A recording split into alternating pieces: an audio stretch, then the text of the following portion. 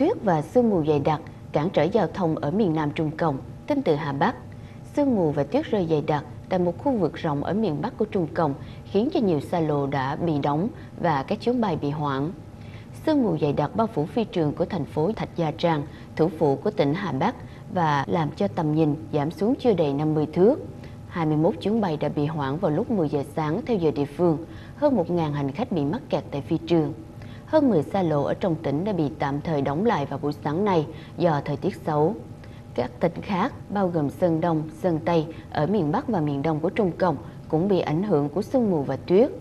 34 chuyến bay đã bị hủy và 19 chuyến bay bị hoãn trong vòng ít nhất một giờ đồng hồ tại phi trường quốc tế Bắc Kinh vào sáng nay. Đài truyền hình CCTV cho biết không lưu đã dần dần hoạt động trở lại trong ngày tại cả Hà Bắc và Bắc Kinh.